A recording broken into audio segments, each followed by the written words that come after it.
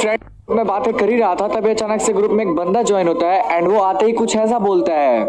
अरे वासु एक challenge match है और तुम्हारे पास क्या कोई ऐसा बंदा है जो तूफ़ान हो तो वो कस्टम में उतरे सबकी फाड़ कर दे अरे है ना खुला सांड है जहाँ भी घुसता है फाड़ के निकल जाता है। देखो ब्रो उस बंदे को हल्के में लेने की गलती बिल्कुल मत करना क्योंकि सीरियसली ब्रो उस बंदे की जो मूवमेंट प्लस एक्यूरेसी है पूछो मत। कसम से उस बंदे को हराना नेक्स्ट टू इम्पॉसिबल है। कहाँ है वो प्लेयर बुलाओ शेर को। अरे यही तो है बादशाह।